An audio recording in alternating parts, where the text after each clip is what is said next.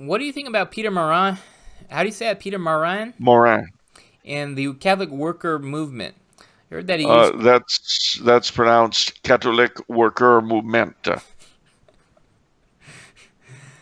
I heard that he used to write something called easy essays. If Charles could comment on that. Well, he did. He stopped when he died. Uh, no, Peter Maurin was a brilliant man, interesting, interesting character. He was a Frenchman, uh, and in France, he drank deeply of the Church's social teaching and of the work of people like uh, Albert Mont and uh, René de la Tour du Pin.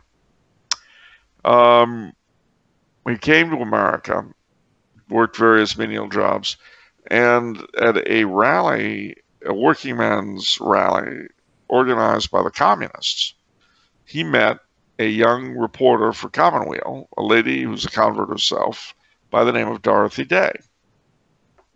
And their partnership resulted in the formation of the Catholic Worker Movement. Now, uh, Dorothy Day, she's now up for canonization, but she was very much an activist. Peter Maurin was the theorist of the movement. And he would sometimes embarrass her, although she, they all thought he was another saint.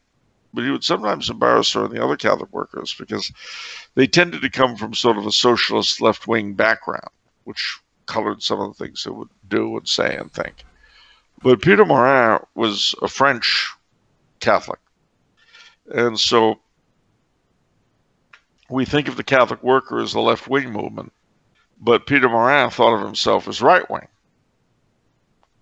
And uh, he said he wasn't in one of his easy essays, which are fun to read. You can get them online. Uh, he said that uh, he was a man of the right because he wanted to be right. Uh, he was not a man of the left because he didn't want to be left behind.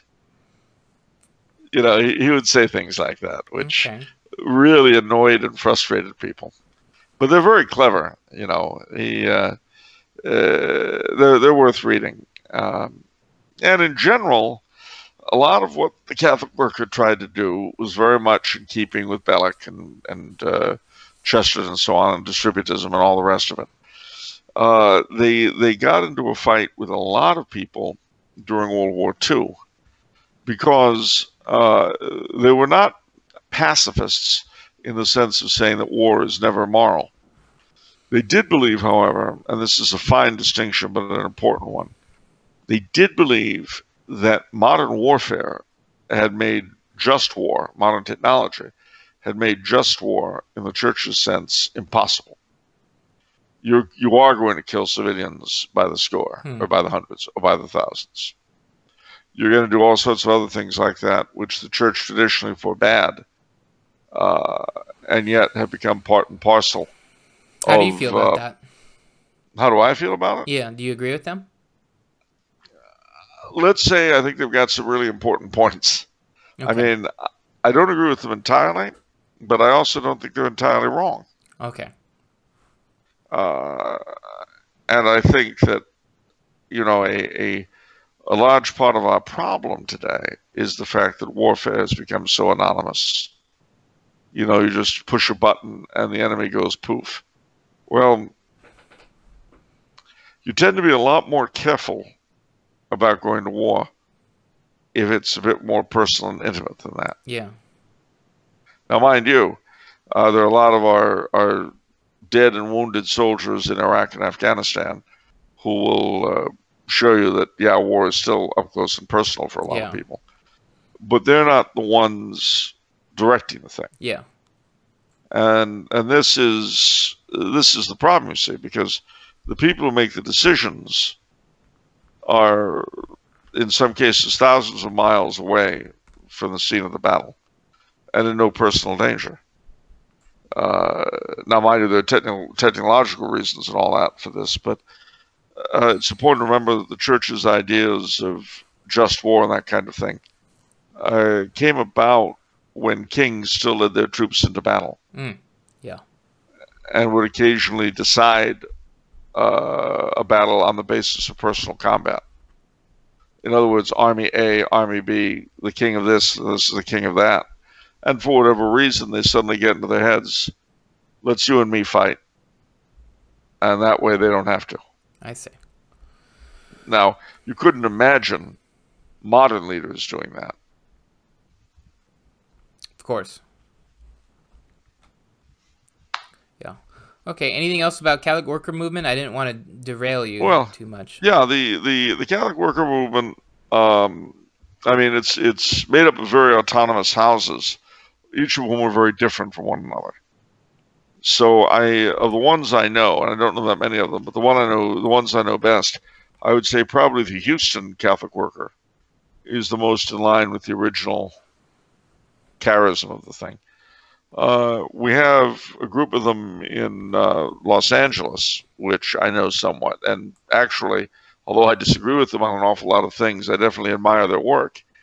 And Jeff Dietrich, who's their head man many years ago, 20 years ago, if it was a day, he told me something which I've never forgotten. I think it's very wise, and I will share it with you. And it's certainly very indicative of the Catholic worker. Now, he and his wife have run a soup kitchen in downtown LA since 1967. 53 years. And of course, in all that time, things have not gotten better in the Poverty Row section of LA. If anything, they're worse. Yet every day, the Catholic workers are out there slopping soup for the poor. Now, I asked him why, after all that time, he hadn't burned out. And he told me something I thought was very wise, and I will share it with you now. Uh, he said that um, if you do this kind of thing expecting to make a difference, you'll burn out. You do it because it's what God has made you to do. You do it because you have to do it, like breathing. Mm. And then you never burn out. And I, I could see that.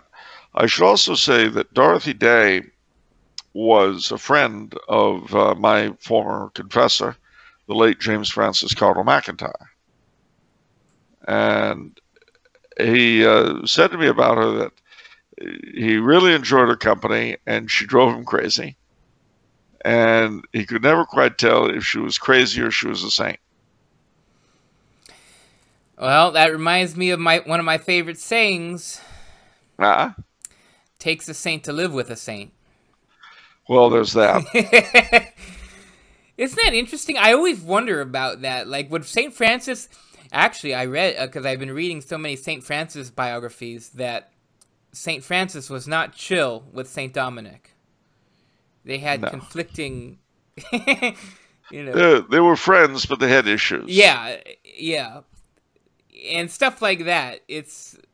And obviously, Well, everyone knows St. Augustine and St. Jerome. Uh, but, Tho- St. Thomas Aquinas and St. Bonaventure. They Yeah. were friends, yeah. but there was uh, creative tension between them.